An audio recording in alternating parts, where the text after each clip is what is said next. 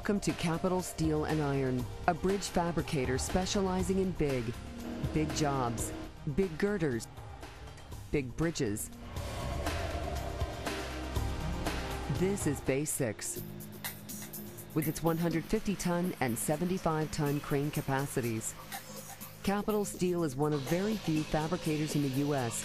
that can handle jobs like this one. This is the first phase of a three and a half million pound bridge assembly. Capitol Steel and Iron Company bid and contracted with Muskogee Bridge Company in April of 2007 to contract to build the railroad bridge to complement the new Interstate 40 Crosstown Expressway being built by the Oklahoma Department of Transportation. Muskogee Bridge selected us because of our proximity, our competitive pricing, and our experience and ability in building railroad bridges. We are certified under the AISC Major Bridge category with fracture critical and paint endorsement. During phase one of the project, crews have been fabricating giant steel pieces that will fit into one of three bridge spans. They have 86 days to meet the project deadline. Capitol's done a, a, a great job. you know, the way you gauge that is when you erect girders like this in the field and they actually fit without having to expend a bunch of labor making corrections.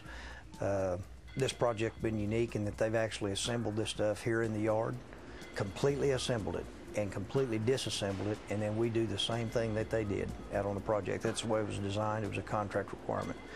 So that pretty much eliminates a lot of the mistakes from a fit up standpoint. Nine days later, the first bridge span is disassembled and the girders are prepared for shipment to the job site. No easy task. The girders are among the largest ever built in Capitol Steel's 100 year history and some of the largest in the country. They are 128 feet long, 16 feet tall, and they each weigh nearly 230,000 pounds.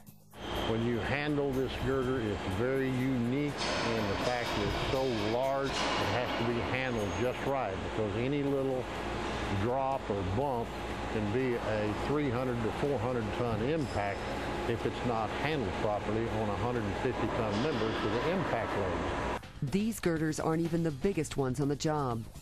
In Capitol's fabrication shop, construction is underway on two of the largest girders ever built for a railroad bridge. The uh, main thrust that our company has is big, big plate girders. Capitol Steel and Iron LLC has done some extremely significant projects for large girder fabrication. Well, the capability of Capitol Steel and Iron is virtually unlimited. Right now, we're into the heavy bridge business. In the past, they've been into the structural steel business. Capital Steel and Iron roughly has 25 acres of land.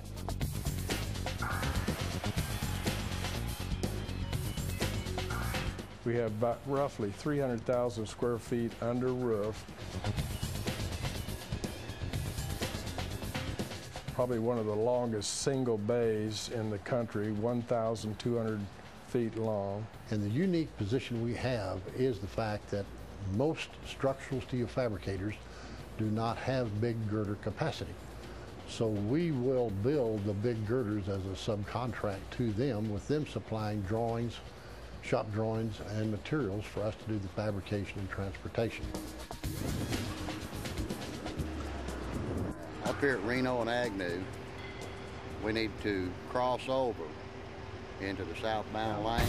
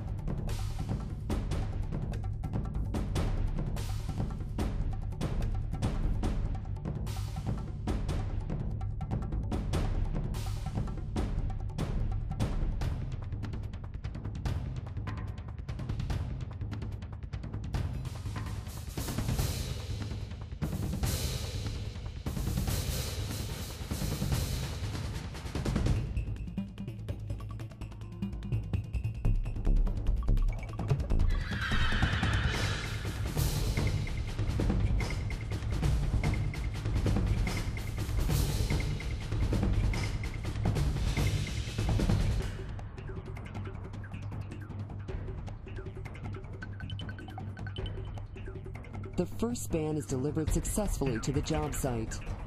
The process is then repeated for the second span, which is identical in size to the first span.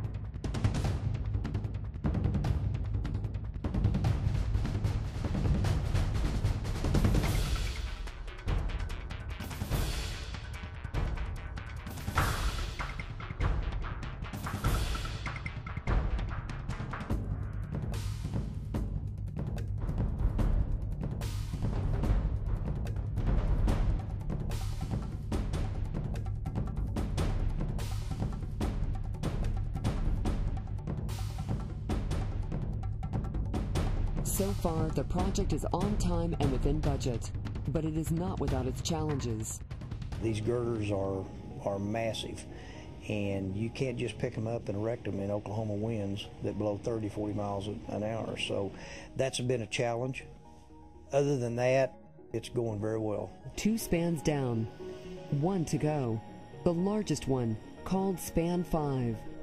It is 159 feet long. Its girders are 16 feet tall. The span weighs approximately 1,300,000 pounds. Representatives from Muskogee Bridge study how the girder reacts when moved so they can be ready at the job site to handle the large steel giants. He's going to move these hooks to 25 foot from the ends and just pick it up about four foot. Yeah, we just want to see what it's going to do. That's good. They're to pick it up and they're going to move it this way.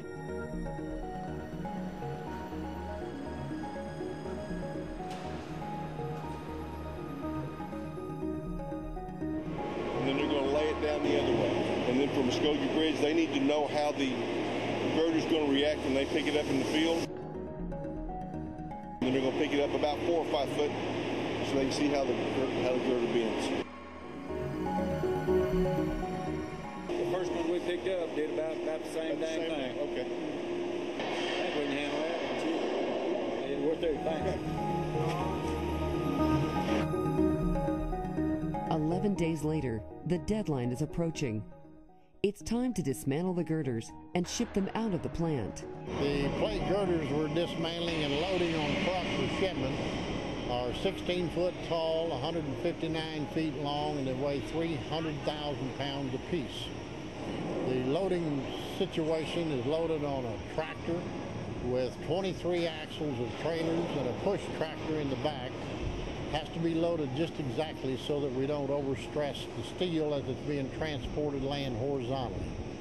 It's 4.2 miles to the job site. It'll take us about an hour and a half to transport it. We'll be transporting, uh, moving out of here with two sheriff's escorts, two main escorts, two ODOT official escorts, and the Capitol Steel escorts. We'll leave at 2 a.m. on Thursday morning, June the 5th. Travel will be at the job site about 3.30 on Thursday morning. It's moving day. Span 5 is ready to go. And Capitol Steel has met its client's deadline. Our railroad bridge project is going exactly on schedule. We are in man-hour budget. We are in budget on our material purchases.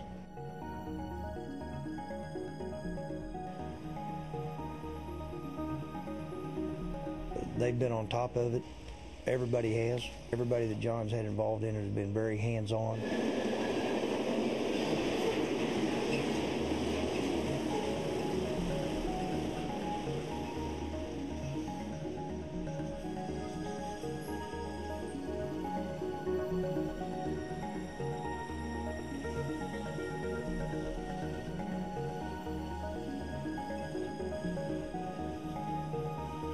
We've had several meetings sitting right here at this table that we've never had on another project. So it's uh, it's been a real uh, kind of bonding between Muskogee Bridge and Capitol Steel on this on this project because it was difficult on, from day one when the first load of steel got here to to uh, day zero. I can see this as we build it. I can see it from the plans. I can see it from the mill order process. I can see each plate as it's fabricated and as it's assembled and as it's erected. And when it's all finished, I can stand back and look at it and say, we had a part in doing this and building the Oklahoma infrastructure